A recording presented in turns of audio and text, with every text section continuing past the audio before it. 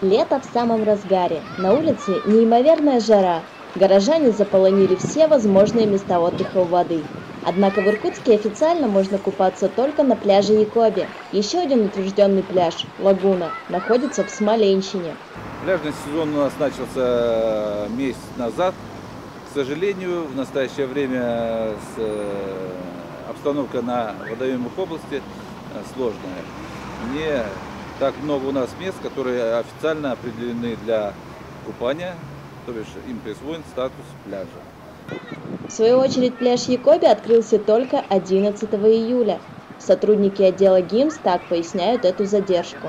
По какой причине? Потому что сначала этот пляж был в аренде у одного предприятия. Аренда закончилась, после этого э, уже решался вопрос э, на аукционе. Общими усилиями пляж привели в порядок. Вода проверена, купальная зона отделена, водолазы обследовали и очистили дно. Но несмотря на в общем благополучный исход дела, пляж не слишком удобный. Плохие туалеты, отсутствие кабинок для переодевания, огромное количество мусора, которое оставляют сами горожане. В ожидании изменений к лучшему Лаля Лобанова специально для Иркру.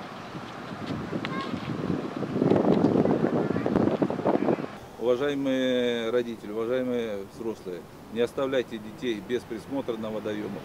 Э, К сожалению, за этот купальный сезон у нас произошло уже 7 детей, э, гибели 7 человек.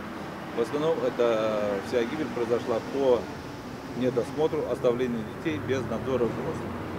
Поэтому бабушки, дедушки, любые э, отдыхающие, если увидите, дети на водоеме находятся без присмотра, пожалуйста, примите меры, чтобы дети прекратили э, сказать, купание без присмотра. Потому что это приведет обязательно к печальному исходу.